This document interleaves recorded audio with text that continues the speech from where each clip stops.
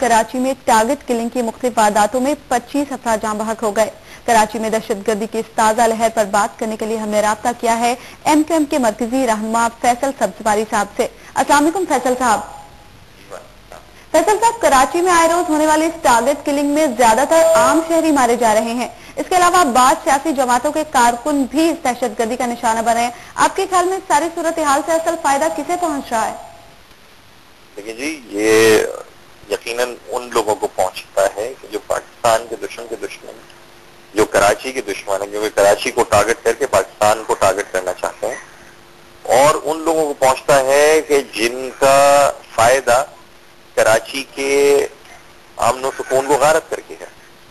जैसा आपने बिल्कुल सही कहा कि यहाँ आम शहरियों के साथ साथ सियासी जमातों के लोग मारे जाते रहे पिछले दो साल में होने वाली टारगेट किलिंग में सबसे ज़्यादा जानी नुकसान जो है वो एम पी एम के यूसी नाजमीन लेकर यूनियन इंचार्जेस और ऑफ़िस बेरर तक हमारे यहाँ पर शहीद हुए हैं।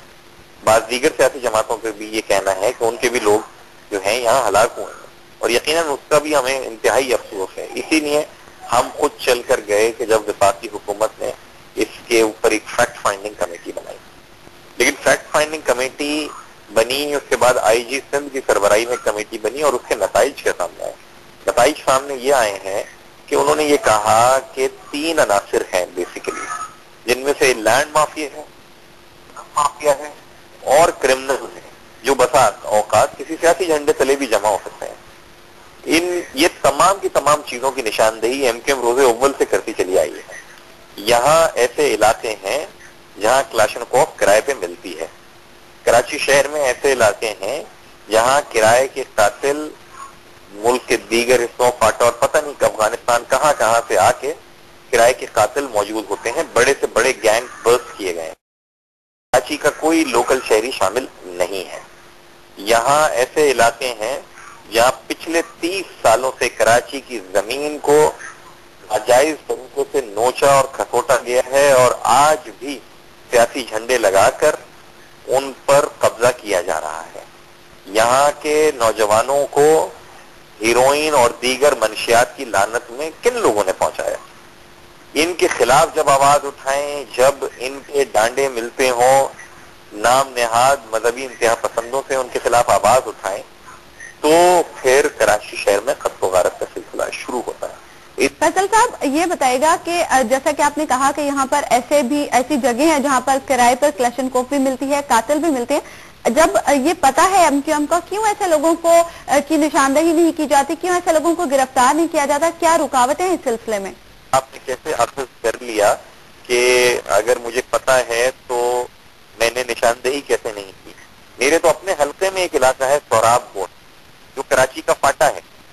वहाँ की निशानदेही बारहा लिखकर भी, जबानी भी तमाम मुतल इदारों को हम कर चुके हैं। अब तो ये यकीन करने वाले इदारों से पूछा जाना चाहिए कि ये क्यों नहीं होता वहाँ पर? और अगर वहाँ कोई ऑपरेशन करने की ज़रूरत महसूस भी की हुकूमत ने तो उसको सियासी रुख दे दिया जाता है। वहाँ सियासी महरूमी के नारे लगा दिए जाते हैं। और अभी भी जो सूरत हाल है, अभी सूरत हाल ये है कि मल्टीपल फैक्टर काम कर रहे हैं जो ये दो दिन में मुख्तलिफ़ हलाकतें हुई हैं।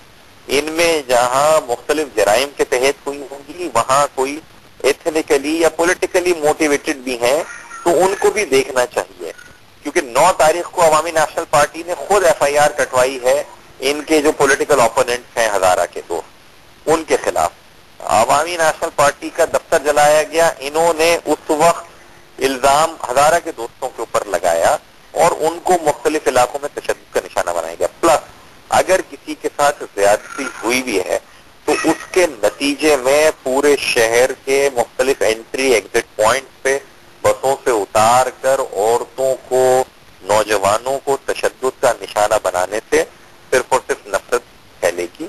नफरत के फैलने से आग लगती है और आग के लगने से सबसे ज़्यादा गरीब आदमी मुतासर होता है। साहब ये बताएगा कि टारगेट किलिंग के इन वाकयात के बाद मुख्तलिफ़ सियासी जमातों के रहनुमा भी एक दूसरे पर इल्ज़ाम आयद करना शुरू कर देते हैं, जैसे कि आपने भी निशानदेही किया है। क्या आप कराची में सियासत लाशों के बलबूते पर हुआ करेगी। देखिए जी, कराची में सियासत, बाज लोग ये चाहते हैं कि वो लाशें गिरे ताकि उनका फ़ायदा हो। एम क्यू एम के पिछले दिनों कराची शहर के नाजिम भी थे, गवर्नर सिंध भी एमक्यूएम का है। कराची शहर की तीस कौमी असम्बली की डायरेक्ट नशस्तों में से सत्रह एमक्यूएम के पास है। मजीद गेन पोलिटिकली जो है एम क्यू एम के लिए करने को वहाँ बहुत ज़्यादा है नहीं। हम स्ट्रेंथन करते हैं अपनी पॉलिटिकल प्रेजेंस को और कराची के इशू पे और वहाँ की प्रोग्रेस और पीस को सामने रखें। हम एज ए प्रोडक्ट लेकर जाते हैं।